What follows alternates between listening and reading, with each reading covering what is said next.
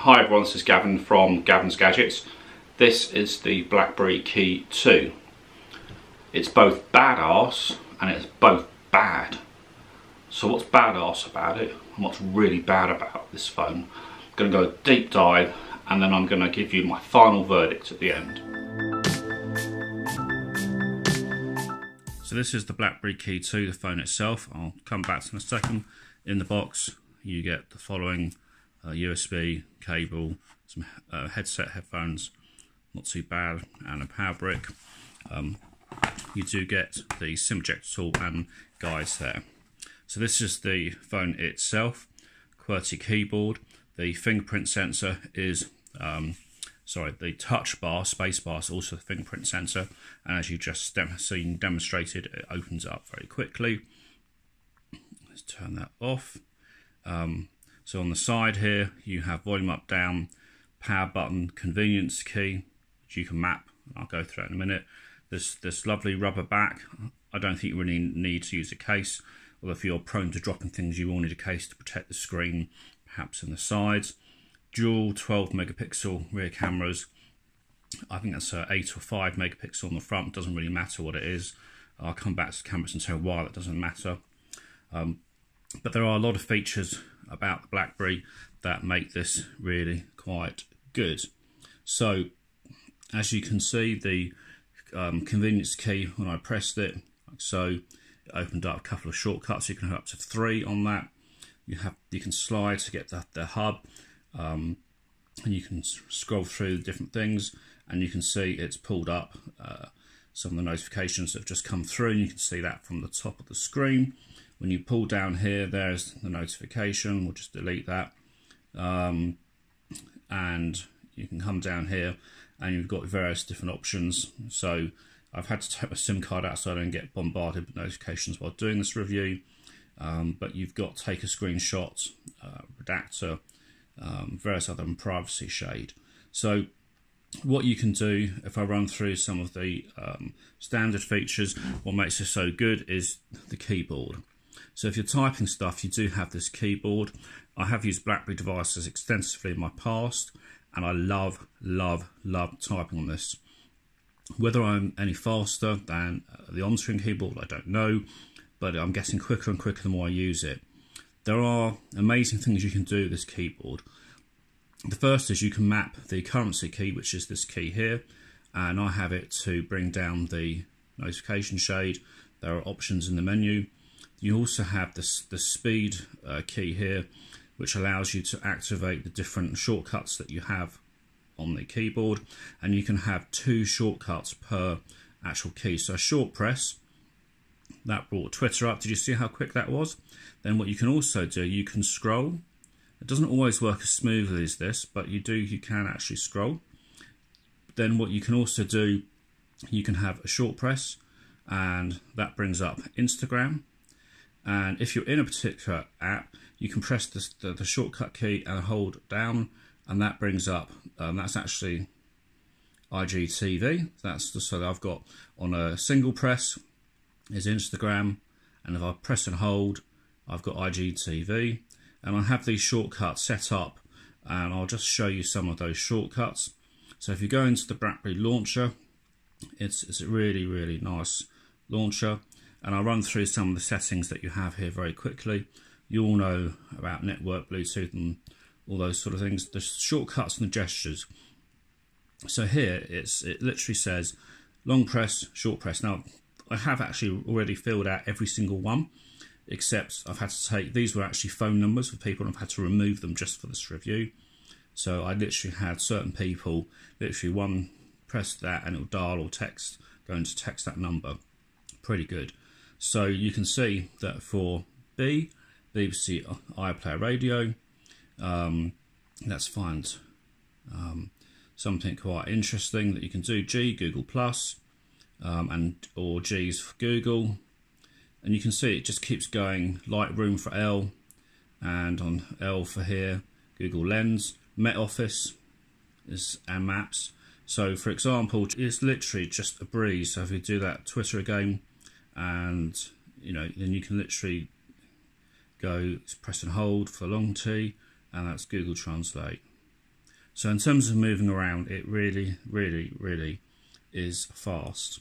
Now, if you look at some of the other apps that you have, um, you can actually use the trackpad for games.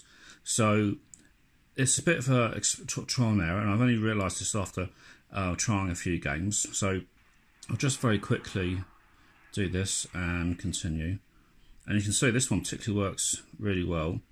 Um, and I've got, I was uh, trying to remember the, the um,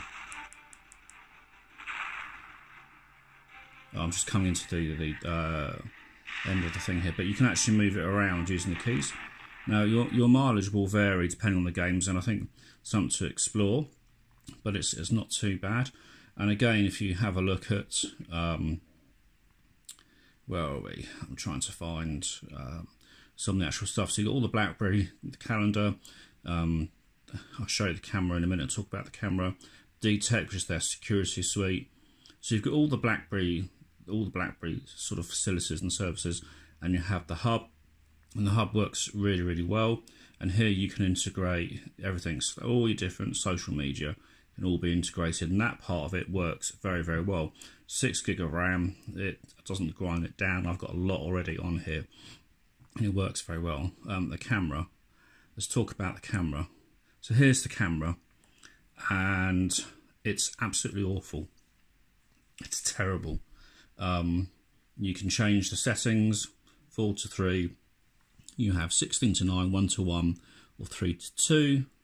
You can have HDR off, on, or auto. Um, you've got a flash timer. Um, here you've got some filters. It's got it's a dual rear lens, so it has um, two times uh, zoom, but there's no optical image stabilization on any of it. Here you can choose your manual mode. So now you go back and you've got all your manual settings. If you want to change to video, you have to first of all select which mode you want. So you put video and then you can hit the record button.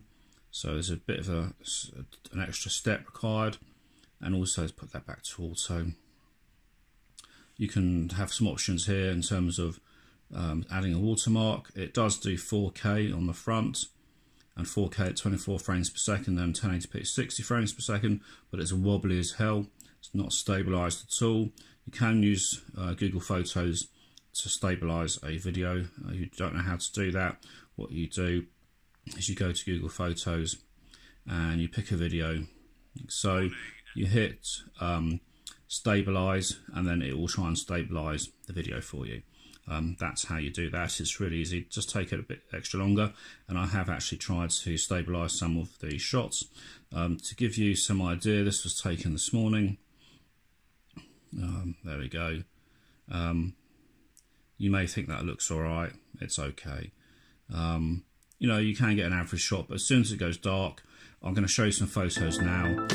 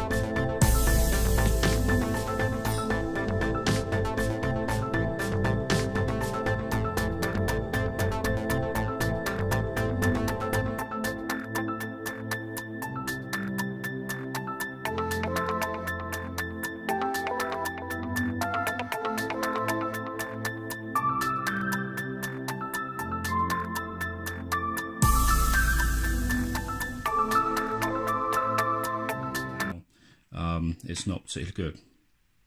So now you've seen the photos, um, you see what I mean. They're not too bad, they're not brilliant. Um, overexposes and all sorts, a lot of artifacts, even in bright light.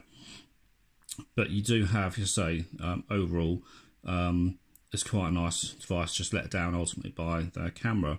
So just going back into the settings, just to show you um, the shortcuts quickly. So here, I did show you the keyboard shortcuts um, customize the convenience key um, and you have three three or four options there um, view notifications, and the convenience key was that one there. Um, and then there's quick launch camera, which is quite good. So you double press the power key and it works even when the phone is on. So if we do that now, you'll see the camera launches. So that was good. Um, double tap to check your phone three finger privacy shade. So if we do that and do the three fingers, so here you've got the privacy shade, and the privacy shade it stops other people seeing what's other text on there, and you can change the um, settings so you can have where are we? Um, just the how much how clear it is, like so. You can do, and you can change how big that particular gap is. It's all customizable and there's also something called redaction. So if you if you want to take a screenshot of something, but there's some sensitive information, it allows you just to black out, just just add a, a it's like you're using a pen really, just blacking out certain amounts of text, and that does that works fairly well. That's not too bad. And there we go. So you can see how that works. Just go back into the settings again. Da da da. So on the on the uh, battery, um, it does work very well, has various different options. When you go to charge the battery, you have an option um, in terms of boost mode, which is where it basically puts it into a power saving mode. So you can just maximize the time you have. It does have quick charge 3. Display, you can change uh, the brightness, have auto brightness. It's not the brightest screens, it's quite hard to see, but it does work better in portrait mode. With sunglasses, when you use like that, and my polarized glasses, I couldn't see the screen at all. I had to take my glasses off night mode sort of adds some just just takes it. So it's, it sort of um, makes the screen amber so it's easy on your eyes. Should help you actually sleep. Wallpaper shuffle that's quite nice. Changes lots from wallpapers automatically and they're particularly good. Ambient display you can wake the screen up when you receive notifications I've got that off. Um, but that's games quite handy. And you've got various actions here that you can do when you plug certain stuff in. So it's not too bad in that respect um, and you've got all the usual bits and pieces that you see on a Android phone. So really say you're buying this for the battery services, the hub, the integration and all the other bits that come with that. It does work fairly well. The screen size, if you're watching uh, if you're watching video, um, yeah, it's um, it's it's not ideal. So just to just to show you, um, oh, hello Super Saf, um, just to sort of go to library and if I go to my videos.